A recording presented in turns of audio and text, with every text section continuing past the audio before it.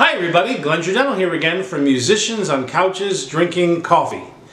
Maybe you did, maybe you didn't get to see that last incredible interview I did with Carmine Appice. Man, he's only probably one of the greatest rock drumming legends of all time.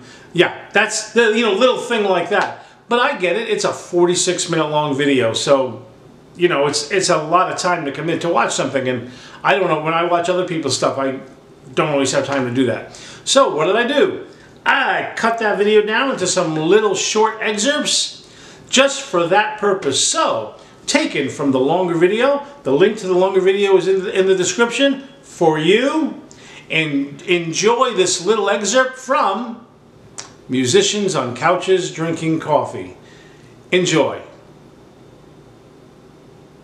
By the way, uh, if Marisa Tomei is watching, call me anytime. Música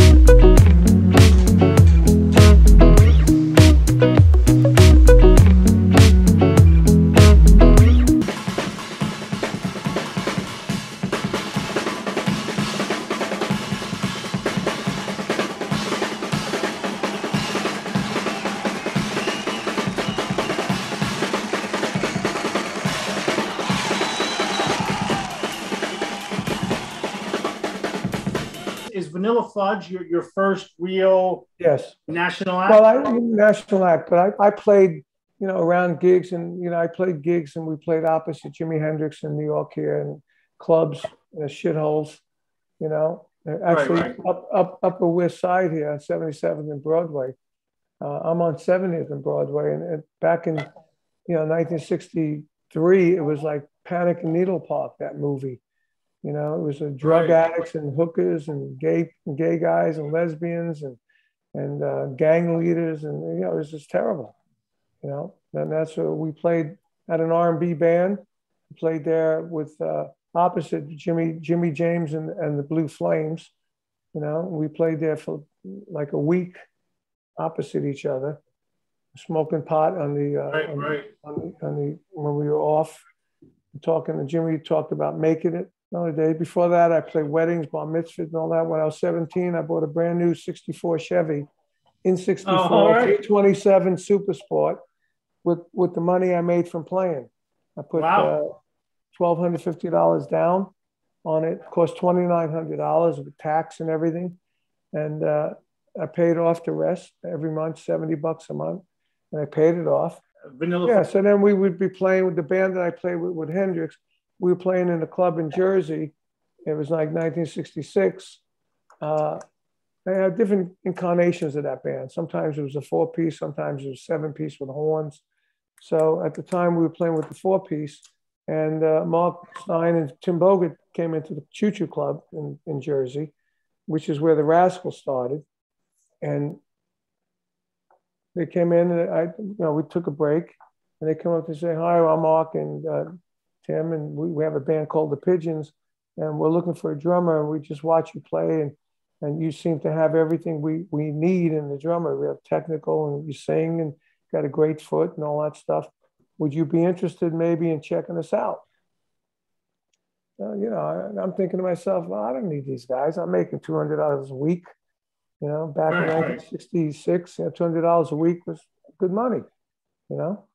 So I said, well, what do you play, Tim? He said, I play bass. I said, oh, I never really played with a bass player because all my bands had a left-hand uh, organ bass, you know, or the foot organ bass. So I said, I'll go check it out. So I went and checked it out. And they said, look, our manager, he owns the Action House out here. The Vagrants are now big with Leslie West. And I used to play with the Vagrants in the city, just opposite when they first started. You know, 1961 or two, now it's like 66, and they got a huge following. They're doing these production numbers, which is what they called. And that was the fad in Long Island, production numbers. You know, the Vagrants, Billy Joel with the Hassles, the Illusions, the Rich Kids. It was all production numbers. And so that's what the Pigeons wanted to do. So I played with them. They said, our manager who owns the Action House, which is a club that every, all these bands play, this guy was a mafia guy uh, from the Goodfellas connection, you know? Right. And uh, so he put us on a salary. He said we, he would put us on a salary. So I played with them and I was blown away. because they were all great. Mark Stein's voice was unbelievable, you know. And I, I had the same kind of vibrato they had, as I sang doo wop in Brooklyn, and and uh, you know I was like 18 years old at the time, and uh, Tim sang like that, and I never played with a bass player, and he was phenomenal. And the guitar player was pretty good too, you know. And I said, wow. So I It's a told great him, I said, you know what? I said, you know what? I'll do it. You Yeah. know, and I, I always tell them I did it. Nine months later, we had a hit, a hit on the, on the charts. Said, see, I joined, and you got a hit on the charts. You know. Uh, but you know, and then we, we did we did all the stuff that you do. We we went in with that vein of music. We matched our music with the lyrics, and Right. I think we're the only ones of all those bands that did that. But we had more facility than everybody. We had four voices, Right. great, better musicians than everybody. You know, so one each band had a great musician. The Vagrant had Leslie. You know, Bill uh, Hassles had Billy Joel. You know, uh, the Rich Kids had Richard Supa that went on to write songs for Aerosmith and stuff. You Right. know, so, but we had four voices. We had better musician. Every musician in our band was better than all the other bands.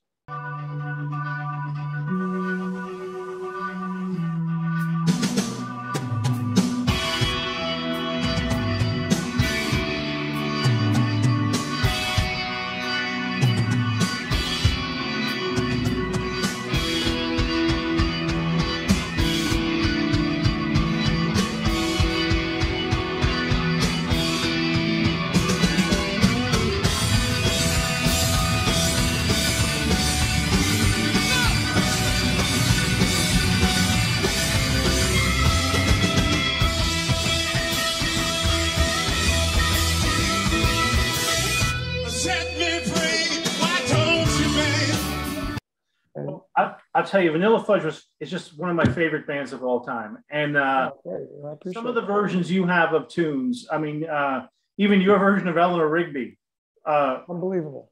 just fantastic, fantastic. And I think my personal opinion is that Vanilla Fudge is like the father in some ways to what came later, which was like Zeppelin and some of that other stuff. Oh, without a doubt.